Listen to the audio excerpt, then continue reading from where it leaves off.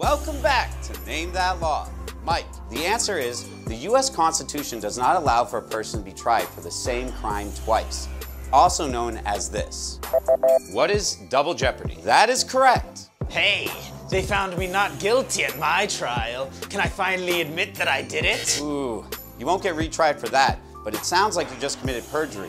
We'll see you at your next trial. Wait, what? Thanks for tuning in, and we'll see you next time.